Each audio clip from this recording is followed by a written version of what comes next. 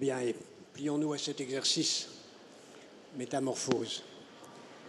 Si, euh, si vous voulez avoir la moindre chance d'avoir une idée de quelque chose de votre avenir, je crois qu'il faut you have an idea of what euh, your réfléchir future could hold, I think we comprendre have to reflect deeply. to understand what it is, this metamorphosis that we're undergoing. Partir du rien pour devenir quelque chose. Does qu'est-ce it que come from nothing to become something? C'est de partir de quelque chose pour devenir tout. It's growing from something to become something else. de tout pour redevenir rien. What is au fond, la dying? It's c'est l'ensemble de ces it's becoming nothing in- in the end. there are three chose, tout, rien, metamorphoses in life. recommence. Comme une Everything, nothing. Plus exactement comme un cercle. It's like a circular meta- metamorphosis. tout être vivant, Every vrai living being, d'un d'un être humain, vrai we think naturally of human beings. It's true of a euh, family or of, or of a company. It's true of a nation. It's true of a civilization. Tout être vivant ce, Every living being undergo, undergoes this journey. We all live and disappear, and there are comprendre ces lois, sans mysterious ways operating. As you say in physics, you need to sont ref- les êtres think about the exceptions. que les métamorphoses ne conduisent pas What are the, the beings which don't follow this infernal circle? a si bien analysé des trois niveaux. Rien, There are three chose, levels. Nothing, something, nothing. La tradition juive, on dit que si on veut comprendre In the Jewish tradition, you say if you want to pourquoi il n'y a rien de understand nouveau sous le why soleil, there's nothing new under il the faut sun, aller au-dessus du soleil pour voir, we you need to go above the sun to see further. même comprendre pourquoi les métamorphoses conduisent toujours au cercle. Why does the Il metamorphosis faut lead chercher à to comprendre this quelles sont les circle? métamorphoses qui y échappent. You need to understand what metamorphoses escape this La ville pattern. est un être vivant qui ne meurt jamais. Il y a des villes qui existent depuis 6 There are 7 000 ans. cities Pourquoi They've been there for five or six thousand years. They, they never die out because they're du rien à continually renewing themselves. You're going du tout au from tout, du tout au nothing to something to everything. il y a une deuxième And so it goes on.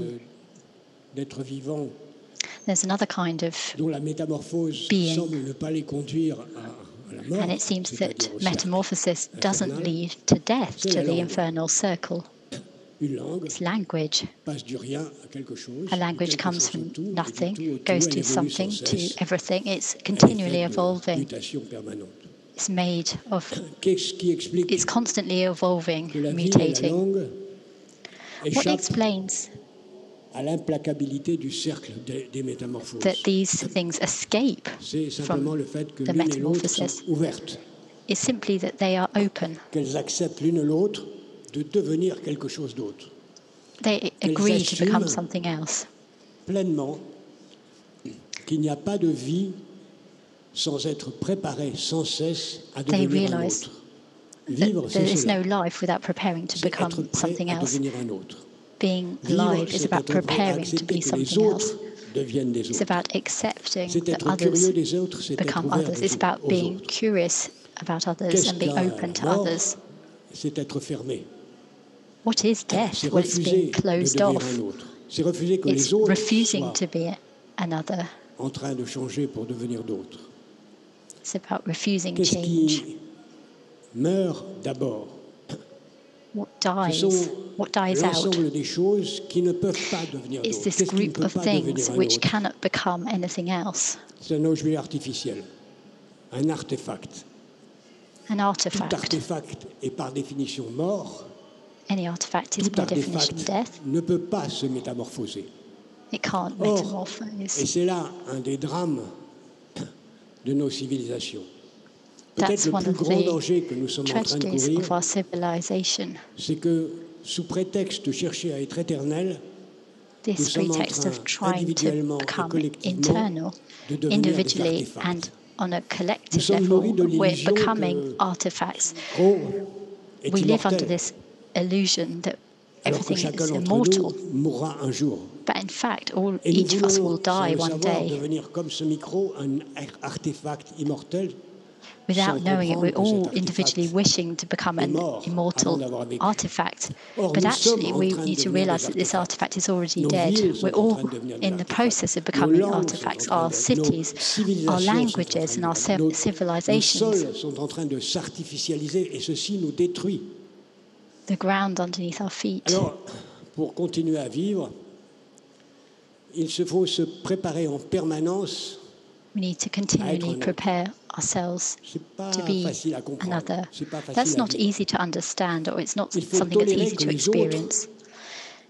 Soit aussi, sans cesse, quelqu'un We need to Il faut être prêt understand that others sont sans cesse have- or to be others as well. People are à être un changing. Living is about being prepared. pre- Is about preparing to be different. It's about ce qu'on veut preparing to choose what you want to be. non pas décider de rester coûte Becoming another. coûte ce qu'on est, parce que rester coûte ce It's not about ce qu'on est, c'est Resolving to say who you are, because if you do so, you'll become an artifact. avoir le projet de Living devenir un autre. Freely is about desiring things and being open in, terms of your spirit. âme, et si Open your soul. De passer de, du monde de la violence au monde de l'harmonie, If possible, du you need la to move from celui de la a, a world of violence, of a world to a world of harmony, métamorphose heureuse. Je vous remercie. to, to a world of kindness. Thank you.